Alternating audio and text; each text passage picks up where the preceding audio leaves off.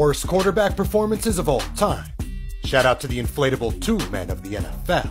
Bills legend Nathan Peterman once threw five interceptions on 14 attempts in the first half. The skills to get benched in favor of Helen Keller. Despicable. In one half, Rex Grossman once completed 2 of 12 passes for 33 yards and 3 interceptions. This man had the decision making skills of the Gerber baby. Colin Kaepernick once threw two pick sixes in the first six minutes of a game. No one misses the gunslinger more than suspect DBs. Jim Hardy holds the record for most interceptions thrown in a game with eight while doubling as a punter. The athletes of the World War II era were fucking soldiers.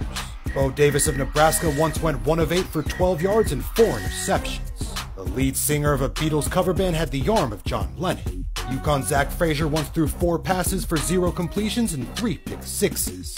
He's Nathan Peterman in training.